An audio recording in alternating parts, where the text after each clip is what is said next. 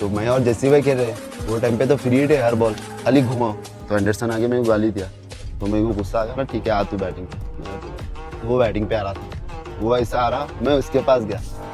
बोला you taking six hundred wicket I don't care you have no respect for me बोलती वो Anderson ऐसा गुस्सा आ गया मेरे जाके फिर विराट देवी मैड और दिल पे लग गया इसको। ईगो हो गया इसका वो टाइम पे।